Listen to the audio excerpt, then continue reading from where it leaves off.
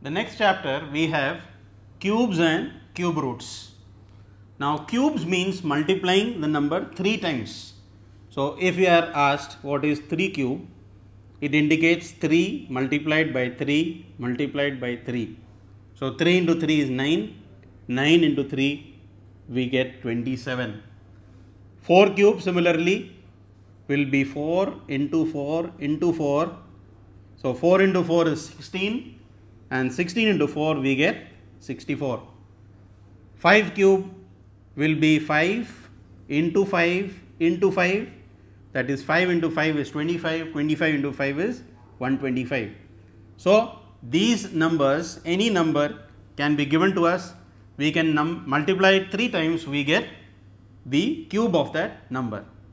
The reverse of this is called the cube root. Now if we are asked to find out the cube root of 125 that will be 5 the cube root of 64 will be 4 and the cube root of 27 will be 3 to find out the cube root the easiest way is the prime factor method.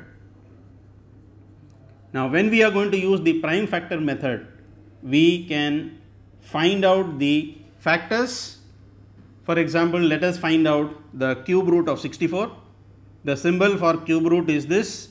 This is a square root symbol and we write a small 3 inside this indicating this is cube root. So cube root of 64 we will find out the factors of 64 2 goes 32 times.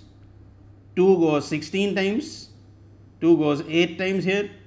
2 goes 4 times in 8 2 2s are 4 and finally 2 ones are 2 and now in case of cube roots we have to make groups of 3 in square roots we were making groups of 2 here we make groups of 3 so this is one group. All the three numbers are same. So this becomes one group. And we have three numbers here. And this is also another group of 2's 1 2 3 2's here and 3 2's here. So, we can say that cube root of 64 is 2 multiplied by 2 that is 4.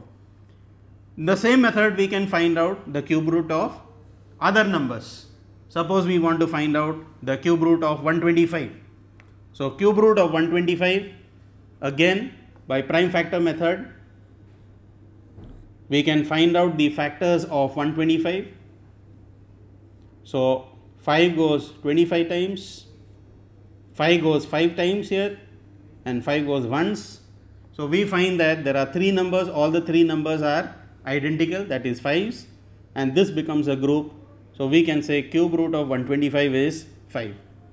So we can find out any number like this and some numbers may not be perfect cubes. For example, if we are having a number 80 and we find out the factors of this, question is find out whether 80 is a perfect cube or not.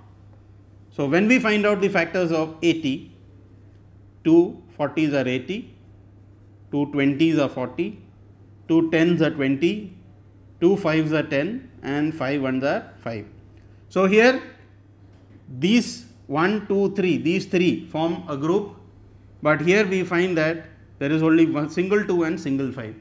So this number is not a perfect cube.